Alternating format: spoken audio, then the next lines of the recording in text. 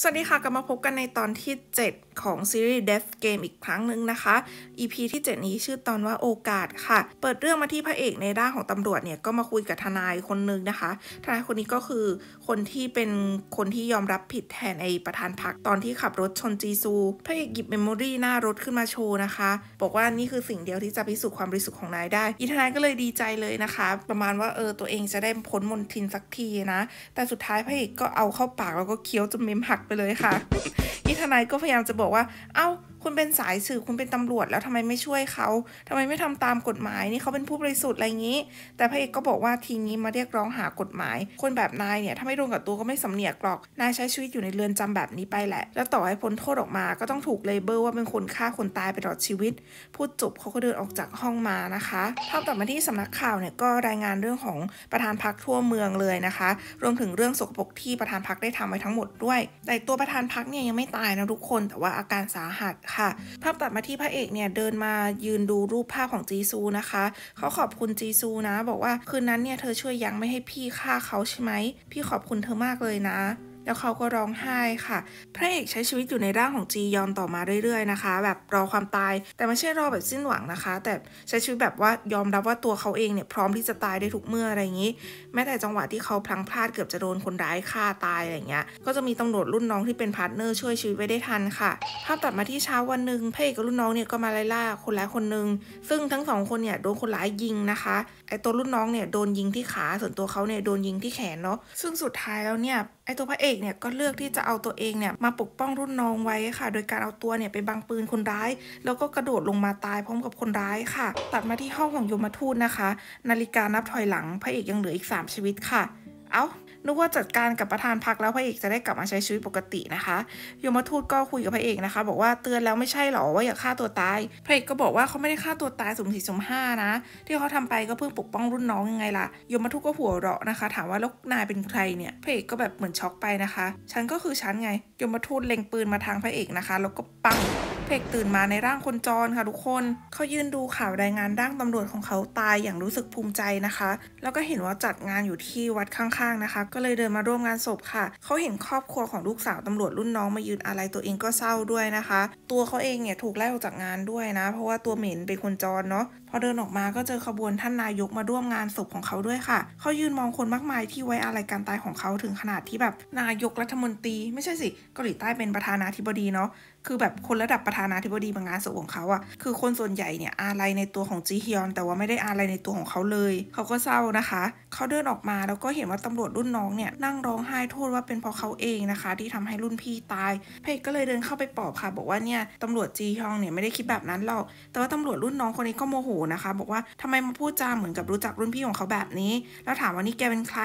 พระเอกก็เลยนึกย้อนกลับไปนะคะ ร่างหลายร่างที่เขาเข้าไปสิงอยู่เนี่ยมันไม่ใช่ชีวิตของเขาจริง ๆ เลย แล้วก็นึกย้อนกลับไปตอนที่จีซูบอกว่า คนเราเนี่ยมันจะมีความสุขก็ตอนที่เราได้เป็นตัวของตัวเอง พอคิดแบบนั้นเขาก็เศร้านะคะ แล้วลูกแก้วความทรงจำก็ลอยมาหาเขาค่ะพอเขารู้ว่าตัวตนที่เขามาสิงเป็นใครเนี่ยเขาก็เลือกที่จะวิ่งหนีนะคะ เพราะเขาอยากที่จะให้ร่างเนี้ยเป็นร่างของเขาจริง ๆ เขาไม่อยากรับรู้แหละว่าร่างที่เขามาสิงเนี่ยเป็นใคร แต่ก็พลาดตกบันไดตายค่ะทุกคน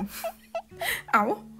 ตอนแรกก็นึกว่าจะหนีพ้นแล้วก็คิดไว้แล้วนะว่าเออเนื้อเรื่องมันน่าจะเป็นยังไงต่อแต่สรุปตกบันไดตายค่ะทุกคน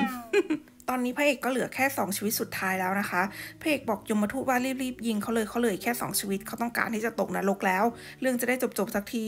ยมทูตก็เลยหยิบปืนขึ้นมาแล้วก็ปั้ง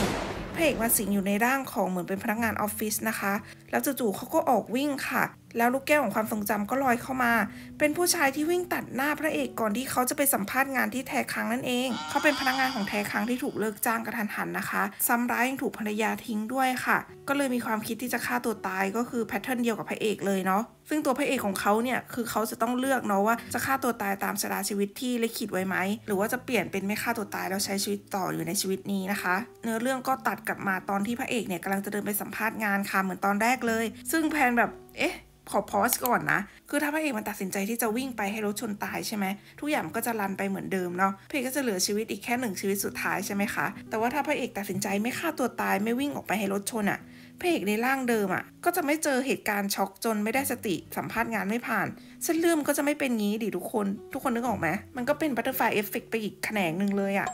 เออคือแพนงงนะ แต่พอกดเล่นต่อก็ปรากฏว่าไอ้ตัวพระเอกมันก็ตัดสินใจที่จะวิ่งไปให้รถชนเหมือนเดิมค่ะ เขามองคนรอบๆ มองร่างของตัวเองที่กำลังโทรขอความช่วยเหลือ มองเห็นไอ้ประธานพักมายืนดูเขาแล้วก็เป็นจุดตั้งต้นที่ทำให้ประธานพักมันมีความคิดเป็น psychopath นะคะ ที่อยากจะฆ่าคน และในขณะนั้นยมทูตก็เดินเข้ามาค่ะ แล้วเขาก็สิ้นใจค่ะ กลับมาอยู่ในห้องของยมทูตอีกครั้งยมทูตบอกว่านายนี่มันโง่จริงๆเลย ฉันอุตส่าห์ให้โอกาสนายได้ย้อนอดีตกลับไปเพื่อแก้ไขนะ แต่นายเลือกที่จะใช้ชีวิตเหมือนเดิมอีก แต่พระเอกก็โมโหนะคะ ลุกขึ้นยืนแล้วพูดใส่หน้ายมทูตว่าความตายมันก็แค่เครื่องมือกระจอกที่จะใช้หยุดความเจ็บปวดเท่านั้นแหละยมทูตโมโหนะคะเล็งปืนใส่พระเอกแล้วก็ปั้ง พระเอกฟื้นขึ้นมาในร่างของแม่ตัวเองค่ะทุกคน แล้วก็จบ EP ที่ 7 ค่ะ โอ้โห ร่างสุดท้ายอย่างพีกอะเอาจริงๆนะ ถ้าไม่มีร่างที่หนึ่งถึง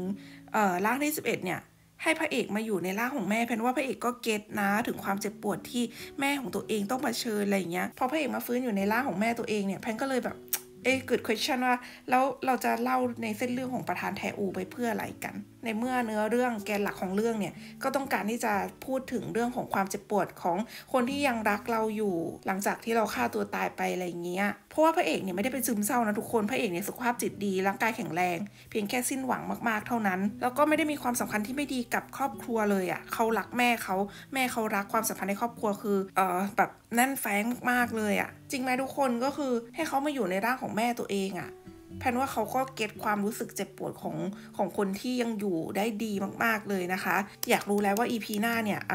เนื้อเรื่องจะเล่ายังไงนะคะ เป็น EP สุดท้ายแล้วด้วย ฝากติดตามกันด้วยนะคะ ถ้าชอบคลิปนี้ฝากกดไลค์ กด subscribe ให้จีด้าชาแนลด้วยนะ เดี๋ยวมาเจอกันใหม่คลิปวิดีโอหน้าค่ะ ขอบคุณทุกคนที่รับชมมาจนถึงตอนนี้ ขอบคุณและสวัสดีค่ะ ありがとうございます